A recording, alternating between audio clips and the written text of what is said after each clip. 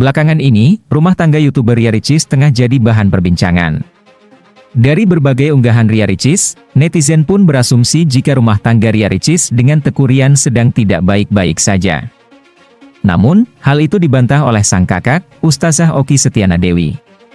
Tetapi, belum lama ini, lagi-lagi netizen dibuat berspekulasi saat Ria Ricis ziarah ke makam sang ayah tanpa ditemani suaminya, Teku Rian. Hal tersebut kemudian membuat netizen bertanya-tanya. Momen Ria Ricis ziarah ke makam sang ayah bersama ibunya diketahui dari unggahan di akun Instagramnya. Pah, hanya itu caption yang ditulis Ria Ricis dalam unggahan Instagramnya. Ria Ricis datang bersama sang bunda, Yunifah Lismawati. Ricis dan sang bunda terlihat memeluk nisan mendiang ayah. Dalam channel YouTube-nya Ria Ricis mendengarkan cerita sang bunda mengenang masa lalunya. Ria Ricis ke makam mendiang ayah juga membawa serta Moana. Ria Ricis juga bercerita lebaran keduanya tanpa kehadiran sang ayah. Lebaran dua tahun lalu, Ria Ricis melewatinya di Aceh dan ini yang kedua kalinya hingga seterusnya dia akan melewati lebaran tanpa kehadiran mendiang ayah. Ya kan nanti lebaran, kemarin lebaran pertama aku di Aceh, nggak ada di rumah, nggak ada papa.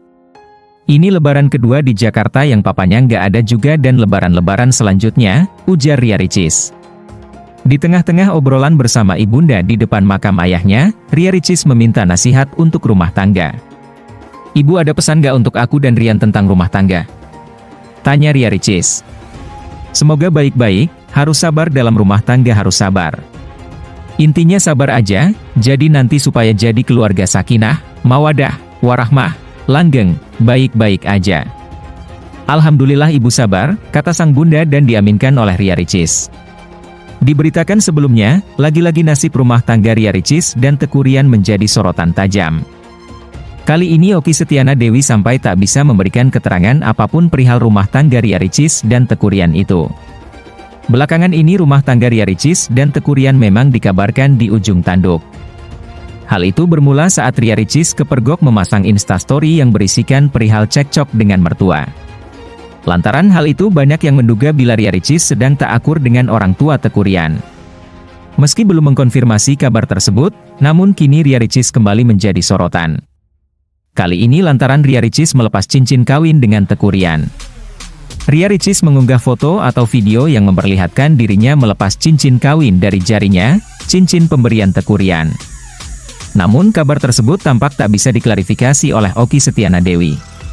Oki Setiana Dewi menutup mulut rapat-rapat saat awak media menanyakan kabar miring rumah tangga Ria Ricis. Maaf ya, kami greeting lebaran aja, kata Oki Setiana Dewi dilansir dari tayangan Insert Live. Oki Setiana Dewi minta maaf karena enggan membahasnya. Nanti aja ya nanti, makasih, ujarnya. Sementara itu sebelumnya, Oki mengaku hubungan Ricis dan Rian masih baik-baik saja. Oki sampai membongkar chat grup keluarga mereka di WhatsApp.